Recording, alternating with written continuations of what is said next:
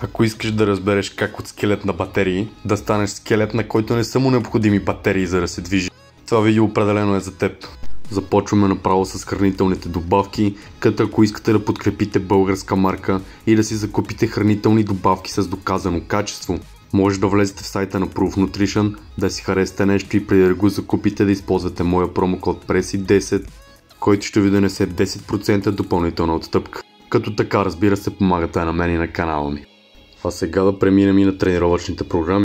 Ако нямате такава, аз ще ви предоставя примерна, по която може да тренирате. Тази, която виждате в момента е 3-дневна, тя е за цяло тяло. Следващата е за 4 дни, която е горна и долна. 5-дневната е комбинация между бутащи, дърпащи крака и горна и долна част. Най-важното нещо, което трябва да запомните за тренировките е, че няма значение какви упражнения правите, стига да има прогресивно натоварване. Тоест с всяка изминала седмица, всеки изминал цикъл, вие да повдигате по-тежко и да поставяте мускулите си на нов стрес, който той до този момент не е изпитвал, за да той да има стимул да порасне и да вдигате все по-тежко и по-тежко, като същевременно мускулите ви растат. Става да разберете и как да се храните. За да покачвате мускулна маса, вие трябва или да сте на поддържащи калории, или да бъдете в калориен излишък. Като сега ще разберете как се случват тези неща. Като за начало влизате в Google, избирате си някой калориен калкулатор. В случая аз използвам този на Aesthetic by Science.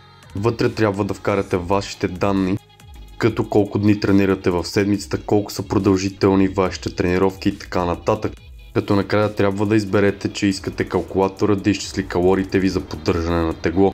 В случаят ние ще вземем за пример 2000 калории. Да започнем с това, как да разберете храната, която приемате колко калории има.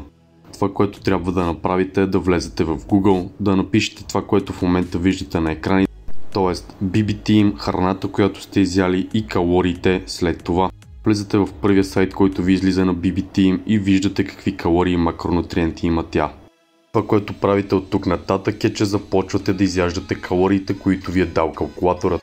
И същевременно започвате да мерите теглото си всяка сутрин на гладно и си го записвате някъде. На края на тази една седмица смятате теглото си средно аритметично. Ако то е същото като в нейното начало, това означава, че това са вашите поддържащи калории. И тук нататък остава да добавите между 100 и 300 калории отгоре. Време е и за макронутриенти. Те са 3 въглехидрати, протеин и мазнини. От протеин ще ви трябват между 1,5 и 2 грама на килограм от теглото ви а мъзнините са между 0,5 и 1 грам на килограм от теглото ви. Всичко останало като калории може да го оставите за въглехидрат. Ако сте начинаещи, това, което може да очаквате като резултат са между 3 и 5 кг мускул за година.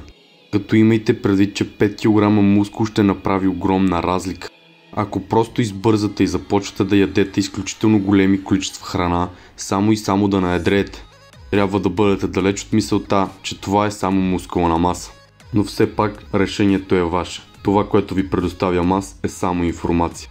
Това ще бъде от днешното видео. Здрави, силни, смели и млади ус!